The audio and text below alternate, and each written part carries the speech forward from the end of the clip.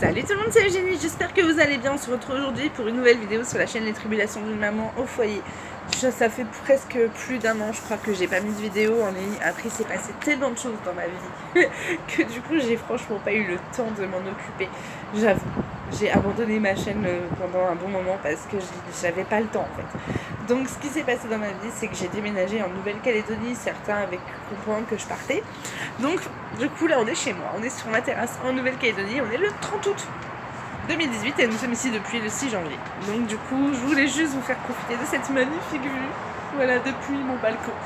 Euh, on est en hiver là, en Nouvelle-Calédonie. Donc euh, hiver en Nouvelle-Calédonie, c'est 12 euh, degrés le matin, 24 l'après-midi. Là, on ressort de 3 jours de pluie. Donc je vous avouerai que bon, on en avait un peu marre, le soleil est le bienvenu, on en profite un petit peu. Et du coup, je vais faire cette vidéo pour vous parler un petit peu des différences. Alors après, je vais pas rentrer dans les détails au niveau culturel parce que du coup j'ai pas encore assez de recul euh, sur ça sur la Nouvelle-Calédonie ça fait que 8 mois que je suis là et euh, j'estime que c'est pas mon rôle de parler des coutumes des tribus etc puisque je les connais pas assez en fait par contre, je vais vous parler de ce qui se passe dans notre tête quand on est en métropolitaine et qu'on arrive en Nouvelle-Calédonie, quels ont été mes chocs, déjà mon corps, comment il a réagi, etc. Donc, je suis arrivée ici le 6 janvier, donc quand je suis partie de métropole, on est parti le 5, on a fait 20 heures de vol, donc 12 heures pour faire euh, Paris-Tokyo et 8h20 de vol pour faire Tokyo-Nouméa. Ah, il y a l'hélicoptère dans mon travail qui passe. Euh, je travaille euh, dans un enfin, à l'hôpital en fait, je suis secrétaire médicale et du coup il est juste à côté de chez moi. Je sais même pas si on peut le voir d'ici. Euh, je vais essayer de vous montrer. tac tac tac, la montagne elle est où? Hop, la montagne qui est là. Ben, mon travail c'est juste derrière cette montagne en fait. Donc bref, passons. Donc on est parti de France, il faisait 5 degrés.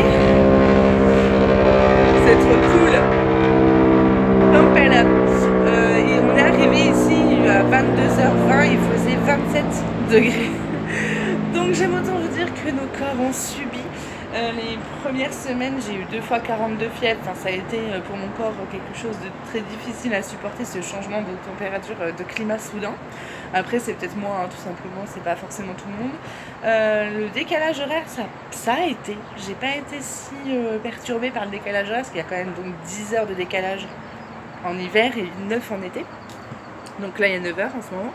Euh, ça m'a pas plus choqué que ça, le décalage horaire, ça m'a pas trop perturbé. Après, moi, je dormais toujours. Euh, je suis quand même un oiseau de nuit, donc euh, je vivais la nuit, je dormais le jour en métropole, donc bon, voilà. Après, qu'est-ce qui m'a le plus choqué? Alors, nous ne sommes pas en euros, ici on est en francs pacifiques. Donc 1 euro, c'est 119,3317 francs pacifiques. donc pour vous donner une idée des prix ici, on va prendre pour une boîte de café Ricoré. Une boîte de café Ricoré en France, ça coûte 4 euros. 16 je crois, un truc comme ça. Donc ce qui fait 455 francs pacifiques. Sauf qu'ici, une boîte de ricoré, ça coûte 1095 francs pacifiques. Donc c'est presque trois fois le prix de la métropole. Le paquet de cigarettes, et ça c'est une bonne chose parce que du coup ça nous permet d'arrêter de, fumer, euh, coûte 1065 francs pacifiques. Donc ça nous fait du 9 euros le paquet de vin. Hein, pour ceux qui fument, ils, sauront. Euh, tout est cher en fait. Tout est cher. Tout est plus cher. Alors du coup, on nous dit souvent, tu as vu, tu gagnes euh, plus que si tu travaillais en métropole. Donc c'est vrai, je gagne plus ma vie euh, maintenant qu'en métropole. En même temps, en métropole, je travaillais pas. Donc, mais c'est vrai que les salaires ici sont plus élevés, mais le coût de la vie l'est aussi. Euh, hier soir, on a fait un McDo à 5, donc on en a eu pour 6090 francs pacifiques, donc ça fait environ 55 euros. Euh, j'en avais pour 15 euros de moins en métropole. Euh, donc voilà, le coût de la vie ici est très cher. Après, si on vit. En fait, il faut changer ses habitudes alimentaires. Donc tout ce qui est produits laitiers, il faut les yaourts, tout ça, il faut les faire. Euh, parce que du coup, acheter un yaourt pour faire 8, ça va. Mais si on achète que des yaourts à consommer comme ça, euh, ça revient cher. Par exemple, là, j'ai eu une offre, c'était 12 euh, ouais c'était ça. 12 pâturettes d'Annette là vous savez des pâturettes de Géant Casino là je sais pas quoi la marque de Géant Casino. Les 12 ils étaient à 955 francs donc ça fait 8 euros quoi. 8 euros les 12 voilà. C'est pour vous donner une idée du prix de la vie ici ça coûte cher. La seule chose qui est moins chère, c'est l'essence. Euh, je crois qu'ici, elle a 90 centimes le litre. Donc voilà, donc ça, l'essence, euh, par contre, pour l'essence, ça c'est cool. Ensuite, qu'est-ce qui m'a choqué aussi ici? Euh, le rythme de vie, puisque donc ici les 35 heures n'existent pas, donc on travaille 169 heures mois et calcule au mois en fait ici, donc c'est 169 heures mois, donc ça fait environ 39 heures par semaine. Donc passer de congé parental à travailler 169 heures mois, donc enfin 39 heures par semaine, ça a été compliqué au début. Euh, maintenant ça va, je m'y fais, mais c'est vrai que ça a été fatigant, on travaille donc du coup du lundi au vendredi. alors pareil, au niveau des horaires de travail, tout, absolument toutes les administrations ici en Nouvelle-Calédonie. Euh, je ne sais pas si c'est partout dans le Pacifique, moi je parle que de la Nouvelle-Calédonie, hein, parce que c'est le seul endroit pour l'instant que j'ai visité au Pacifique. Euh, ouvre à 7h15, entre 7h15 et 7h30. Et ferme à 16h ou 15, ça dépend des administrations. Donc par exemple, j'ai eu la chance de travailler à, la, à, la, direction des services fiscaux de Nouméa. Donc je travaillais aux impôts et je faisais 7h30, 16h tous les jours. Euh, j'avais 45 minutes de pause le midi. Et là, euh, à l'hôpital, je fais 7h30, 16h. 4 jours. Non. Alors, je fais 7h30, 16h. 3 jours par semaine. 7h30, 17h, une journée par semaine. Et 7h30, 15h, une autre journée par semaine. Voilà. Donc voilà, enfin c'est un rythme de vie à prendre. Donc on se lève à... Euh, donc nous on vit à 15 minutes de Nouméa. On se lève à 5h30 pour commencer le travail à 7h30. Mais pour pouvoir être au travail à 7h30, donc sauf moi, hein, parce que j'habite à côté de mon travail, mais mon mari qui, habite, euh, qui travaille donc à 15 euh, km de chez nous, euh, doit partir à 6h15 pour être à l'heure à 7h30. Parce qu'il y a tellement de bouchons, donc c'est sur cette route-là. je ne sais pas si vous allez bien la voir. Voilà, cette route-là, c'est la SAV, donc c'est l'équivalent des voies rapides. Ou du, ou du périph, tout simplement dans les grandes villes. À partir de 6h30, c'est bouché en bas de chez moi, donc à 15 km de Nouméa, c'est déjà bouché à 6h30. Hein. Donc si on part pas avant, mon mari et mes enfants sont en retard à l'école. donc il y a ça au niveau donc ça c'est les horaires de travail. Le budget, on en a parlé. Alors les budgets habitation. La vie coûte très cher à Nouvelle-Calédonie au niveau de la nourriture et au niveau des habitations aussi. nous on a une maison qui fait 106 euh, mètres carrés et avec 15 mètres carrés de terrasse, donc 121 mètres carrés en tout. Paye 137 000 par mois, donc ça fait 1200 euros de loyer. Voilà. donc euh, voilà, 1200 euros. Et on n'habite pas en centre-ville. Hein. On habite euh, voilà, en dehors du centre-ville, en dehors de Nouméa. donc les loyers sont chers aussi. Euh, je vais revenir juste une seconde sur le travail. Euh, il y a énormément de travail en Nouvelle-Calédonie. Ça, c'est pas une légende. Si on en cherche, on en trouve, ça c'est sûr. Euh, par contre, il faut penser au fait qu'il y a aussi l'emploi local. Donc l'emploi local, c'est l'emploi des autochtones, hein, donc du coup des gens qui sont nés en Nouvelle-Calédonie ou qui sont mariés en Nouvelle-Calédonie. Euh, il faut prouver en fait depuis euh, qu'on vit en Nouvelle-Calédonie depuis plus de 10 ans je crois euh, pour être considéré comme citoyen. Donc il y a la citoyenneté calédonienne donc moi heureusement pour moi j'ai eu la chance donc d'être mariée à quelqu'un qui, qui est né ici. Donc j'ai automatiquement eu avec mon mariage la citoyenneté calédonienne ce qui m'a forcément facilité les choses pour trouver du travail. Sinon j'aurais plus galéré. Donc déjà l'hôpital où je travaille il m'aurait pas pris puisque je n'étais pas emploi local. Donc ils ont des obligations, euh, de, ils ont un certain quota à engager en emploi local. Donc c'est vrai, je vous avoue que pour ceux qui n'ont pas, cette citoyenneté calédonienne, c'est compliqué. Euh, mais c'est trouvable, hein. mais c'est vrai que ça complique les choses. Donc il y a ça.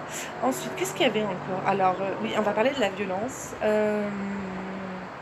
alors moi je trouve que cet endroit est pas plus violent qu'une grande ville métropolitaine. Après, ça se sait plus vite vu que c'est une île, euh, les informations circulent vite. Et du coup, forcément, ben, on en entend tous les jours. Mais c'est plus parce que voilà, je pense que vu que c'est une île, l'information circule vite et euh, vu que c'est petit, parce que mine de rien, enfin c'est petit, tout est relatif, mais euh, vu que c'est petit, tout le monde, on finit toujours par connaître quelqu'un qui connaît quelqu'un qui connaît quelqu'un qui connaît quelqu'un, et du coup, forcément, on est plus vite au courant que si on habite tous à Paris, par exemple, ou même à Toulouse. voilà, donc je pense que c'est vraiment pas plus violent que dans, dans une autre ville en fait, dans une autre grande ville. Ensuite, qu'est-ce qui. La gentillesse des gens. Alors là, ce qui m'a aussi choqué, c'est la politesse des gens. on se connaissait pas, le voisin m'a tout de suite souhaité, bah, du coup je suis arrivée le 6 janvier, donc oh bonjour ma petite dame, bonne année, meilleure santé, enfin les gens sont vraiment très agréables. alors après, ça là-dessus, la politesse des gens et la gentillesse des gens, ils nous aident et tout, enfin sincèrement c'est top. Euh, à côté de ça, euh, il y, a, voilà, y a quand même des endroits où je vous avouerai que j'irai pas à certaines heures euh, de la soirée. Bah, c'est comme, à Marseille ou à Paris, je suis désolée, il y a des endroits à Paris et à Marseille où je pense qu'on ne va pas à certaines heures de la journée. au niveau du commerce, du coup, au centre-ville, donc à Nouméa, la place des cocotiers, c'est la place la plus célèbre entre guillemets de Nouméa à partir de 16h, 16h30, tous les commerces sont fermés.